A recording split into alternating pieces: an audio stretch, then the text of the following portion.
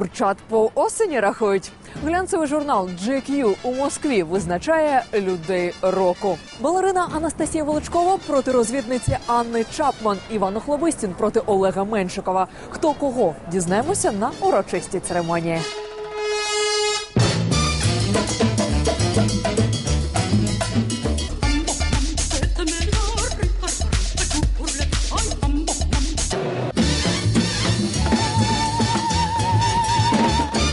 Опасность вашего поцелуя Ксения поднимет мертвого.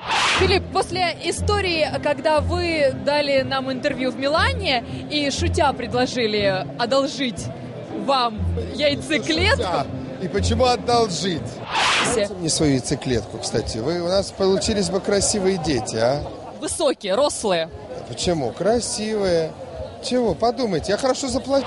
было много предложений подарить, продать, но на самом деле меня пресса замучила. Я уверена, что и вас тоже. Скажите, что вы пошутили. Я, во-первых, не пошутил.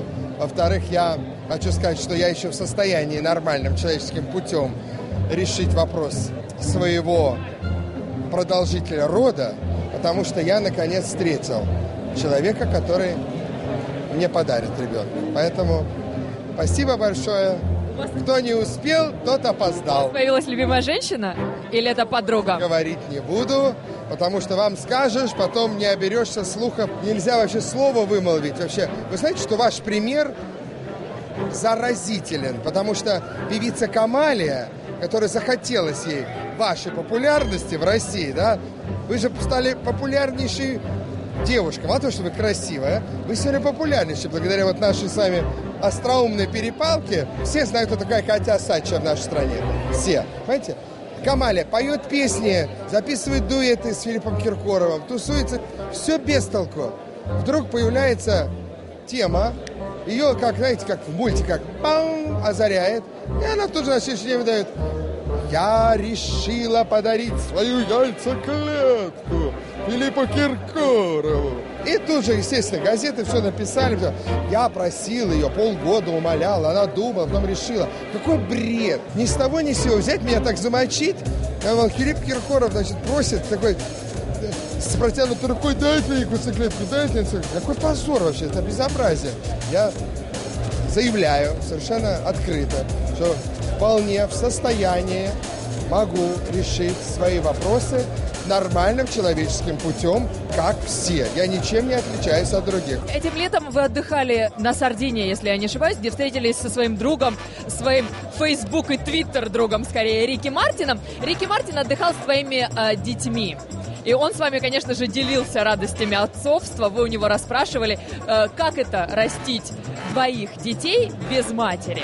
Это тяжело, но, наверное, это интересно. Он живет жизнью своих малышей. Давайте не будем проводить параллели ни с его жизнью, ни с моей жизнью. Да, у нас много общего. У нас есть много чем, что нас различает. Вы во время отдыха вы говорили о детях, конечно же. Вы можете говорить на такие темы. Ой, давайте так. а, Уже каждое слово надо взвешивать. Мне надо подумать, что ответить. Могу сказать, что у него все хорошо, и у меня все хорошо. Насколько вы близкие друзья с Рики Мартином? Опять 25. Я умею дружить. Я и со своими коллегами дружу и общаюсь, и с иностранными. С Рики Мартином вообще знакомы с 98 года. Уже почти 14 лет. Поэтому нам есть о чем поговорить в свободное от работы время. Тем более на Сардинии. Говорят, вам подарили Бентли. Не загадочная ли поклонница, которая собирается вам вслед за Бентли подарить и ребенка? Нет. Бентли мне не подарили. Бентли я купил на свои собственные деньги. Сам себе сделал подарок на свой день рождения. Имею право 30 апреля подарить себе белоснежный Бентли.